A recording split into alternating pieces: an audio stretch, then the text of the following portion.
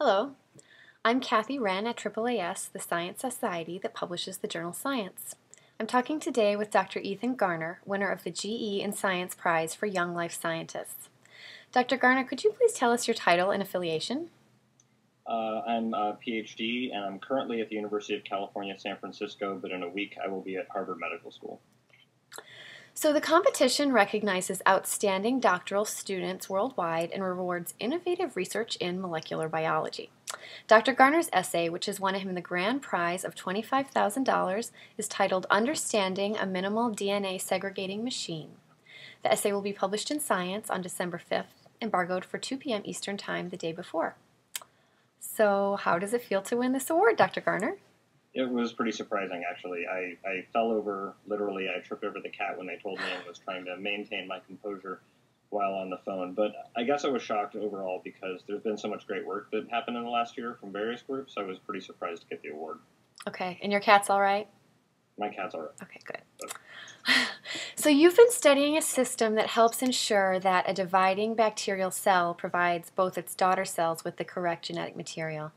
And you're actually looking at one particular bacterial chromosome, also known as a plasmid, and the machinery that pushes the two plasmid copies to opposite ends of the dividing cell. So could you please explain why this plasmid interests you? Well, I wanted to study this plasmid basically because it contains a minimal DNA segregating machine.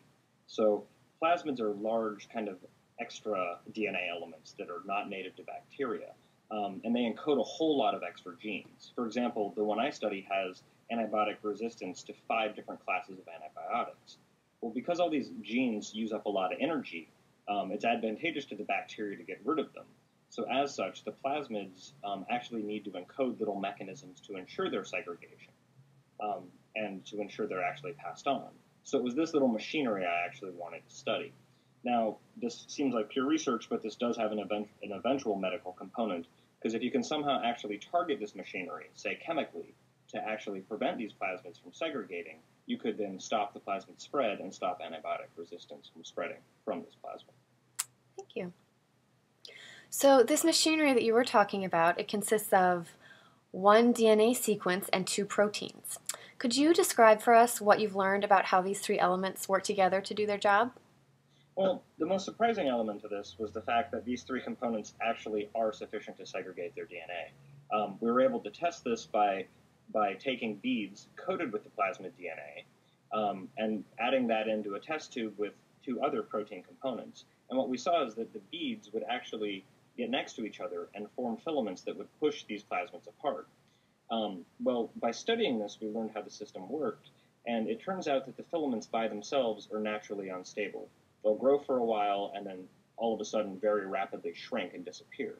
But when you have the filaments bound at each end by the plasmid and their adaptor molecule, they become stabilized, and then the filaments can elongate, pushing the plasmids apart to either end of the cell. So this was a little surprising then that such a simple system with just the three elements was able to sort of perform this very essential task of making sure that the daughter cells get the genetic material they need. Well, it was known. It was known from genetic evidence, but no one had ever directly demonstrated it um, okay. biochemically at all.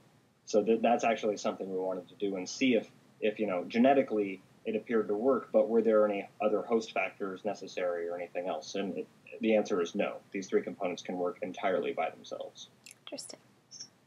Okay, so Dr. Garner, tell us when did you know you wanted to be a biologist? Um, well, I think somewhere around the age of about 16. Um, my brother was getting a degree in microbiology at the time, and he kept calling me up every week and telling me random factoids and ran- factoids about genetic engineering or about some cool organism, and that definitely like got my interest going in this. Um, and so I kind of owe a lot to him as far as why I ended up, you know, being obsessed with biology. Okay, cool. Well, this prize is intended to support scientists in the early stages of their careers, and it can be a competitive world out there for young scientists. Were there any ever any times that you seriously needed some encouragement? Yeah, yeah. so I originally did bioinformatics as an undergrad at, at Washington State University.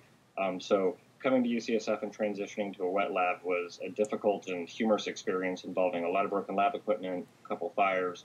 Um, the first three years were pretty much nothing but failure, actually. This project is actually a side project, as my original project completely failed. So yeah, it, it was difficult at the onset.